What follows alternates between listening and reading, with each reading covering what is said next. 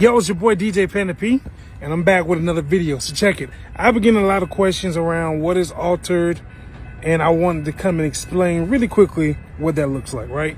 So Altared is a place for you, me, your cousin, your auntie, your mom and them to come and celebrate the goodness of God.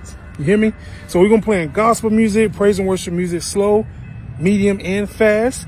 So there will be the new school Christian rap going on that maybe you don't understand, maybe you don't know about it, never seen it before. This will be your opportunity to get in with the Christian rap, all right? And of course, we're gonna play the old contemporary music, you know what I'm saying, the old school gospel, Kirk Franklin, Mary Mary, all that good stuff. But we want to give a space for people like us who worship God, a nightlife experience. Because there's a bunch of different clubs, but there's no space specifically for that group of people, which is us. And so this would be the opportunity to do so right? So there won't be any alcohol, no tobacco products, none of that. But we will have food trucks. We have photographers there to take pictures at the moment.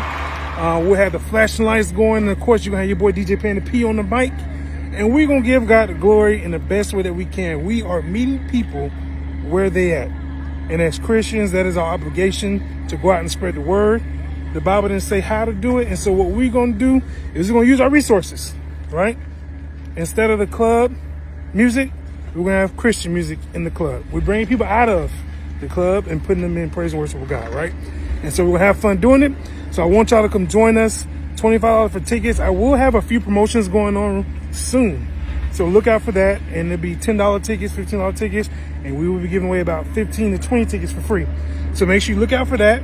And down below, I have all the information you'll need, the website where you can purchase your tickets and be ready to go. All right?